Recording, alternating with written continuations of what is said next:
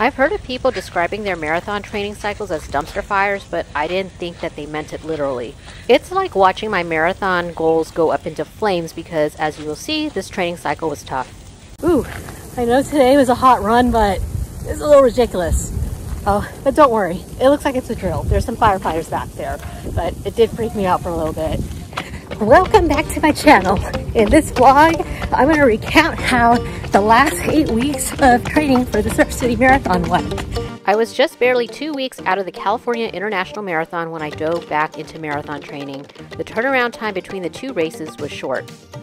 Good morning. It's December 14th and we're seven weeks away from Surf City. I'm actually here in Anaheim at the JW Marriott for a work conference but I'm still gonna go out for a run because I have to. This is a really nice hotel. I was all comfy and warm in my bed, but now I gotta go out in the California cold morning and do the run. Trust me, it was more tempting to stay in bed at this luxurious hotel close to Disneyland.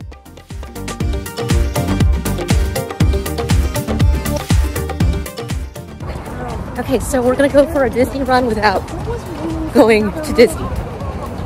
But it was the prospect of running near Disneyland that was motivating me to get out early. Also, there was a small group of us at the conference who wanted to get a run in, and you know how effective running in a group is. There's the backstage of Disneyland where all the magic happens. Think of this as a poor runner's version of a Disney race where we're running around the perimeter. Sorry, no photos in front of the Sleeping Beauty Castle. Okay, just completed my first interval. I have to break away from the group that I'm running with. We'll just cut through downtown Disney instead and admire the outside of the Disneyland Hotel. We ran through the ticketing area for the Disney California Adventures Park.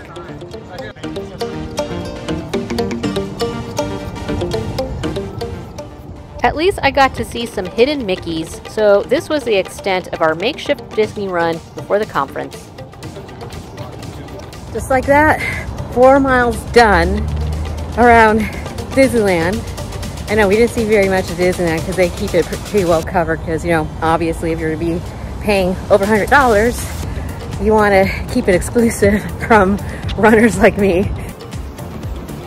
So far, it seemed like a smooth reintroduction to the marathon training cycle. It seemed like the next seven weeks were going to be promising. I mentioned my last video about CIM 2023, I am retiring these Vaporflies. So no, they're no longer my racing shoes. Instead, they're going to be my speed workout shoes and my long run shoes. It's December 29th, so five weeks before the Surf City Marathon. I'm here on my 12 mile run, so I'm building up my mileage after running CIM like three and a half weeks ago or something like that. Today's goal is to keep this run nice and easy and somewhat evenly paced. So just keep it within my easy pace range.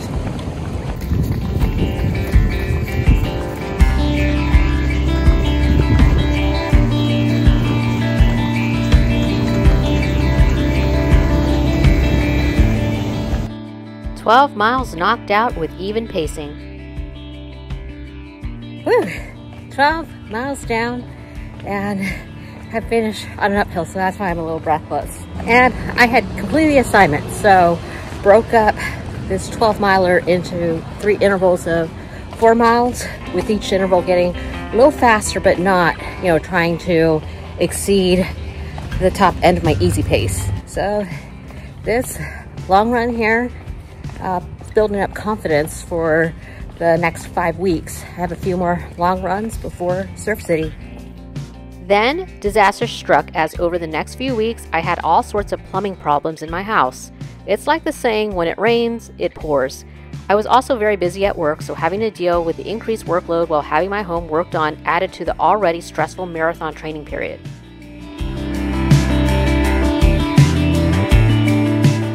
It's like Newton's first law of motion, also known as the law of inertia states that an object at rest or in motion will stay that way unless acted upon by a net external force or an unbalanced force.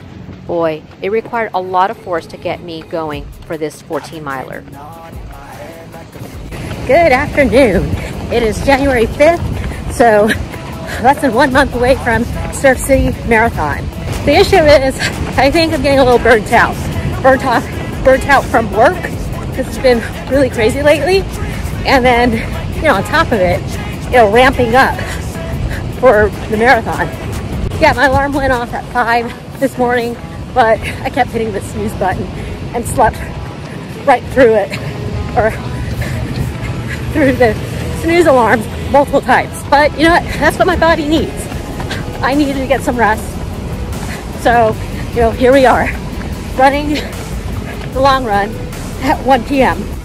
Even though I did complete this 14 miler, just the feeling of getting out there in the afternoon felt like a failure. I had expected to get out early for this workout. And we continue to have more plumbing problems with now the outside valve leaking. How do you deal with training for a marathon when it feels like everything around you is falling apart? Good afternoon. It's January 12th, three weeks before the Surf City Marathon. And once again, I got off to a late start, but that's okay. I'm actually enjoying this afternoon run. Yes, I have a 16 miler, which is what I'm gonna peak at on this training cycle. It was really cold earlier this morning, like in the 40s and windy. So I didn't want to go out and do my run in those conditions because that's not how it's going to be at Surf City. I want to simulate the racing conditions as much as possible. And I know that 10 mile beach path, which everybody hates, is usually very sunny and it gets warm at that point. So that's what I'm trying to imitate here. Also, I got some speed work built in later into this run, so I didn't want to run into any headwind. Even though I had tried avoiding the winds from earlier in the morning, I ended up encountering all these sand dunes on the running path that disrupted my speed work.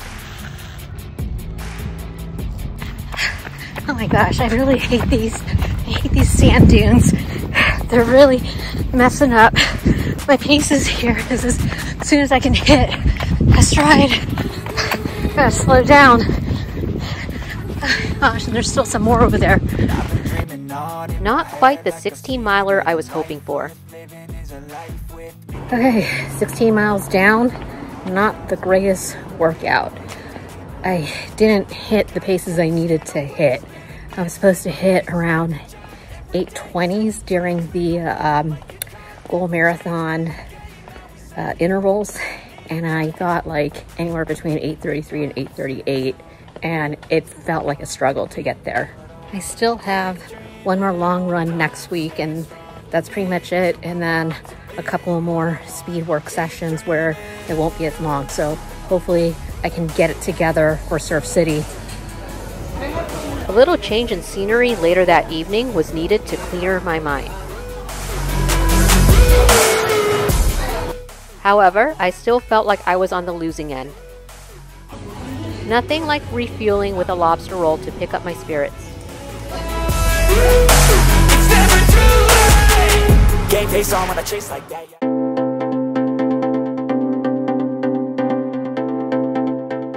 Good morning. It is January 19th, two weeks before the Surf City Marathon, and I'm here on a 14 mile race simulation run. Just doing the warm up part. I'm just really happy that this is my last long run in this training cycle because I'm over it all these long runs. Just been feeling, I don't know, a little burnt out, a little exhausted because, you know, coming before this, I finished a tough and long training cycle with CIM. Then I only had like two weeks of recovery and then now back to this, which you guys have already figured out with all of my other long runs in this vlog. So the plan for today's last long run is four miles warm up and then I do four miles of progression pace. Start at 8.45 all the way down to 8.15 recovery and then two miles at 7.40 pace. So still a pretty tough workout even though this isn't the 20 miler But you know, that's the reality of training for a marathon.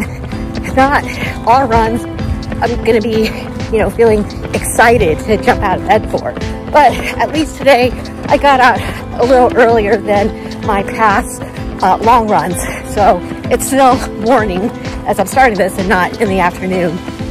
A sign of burnout is a persistent feeling of exhaustion, even after rest days. You might find yourself dreading your runs, feeling unmotivated, or experiencing a decline in performance. It's important to recognize these symptoms early so you can get some self care. And this was my last long run, and I wasn't too happy with my performance. Whew, and that's it. 14 miles, the last long run for the Surf City Marathon training cycle, done. Overall, that was an okay workout. I hit my uh, progression paces just fine, but I did have a hard time with the speed intervals. Couldn't quite get to 740. One of the laps was 814, and then the second lap was 758. Oh well, close enough, I guess.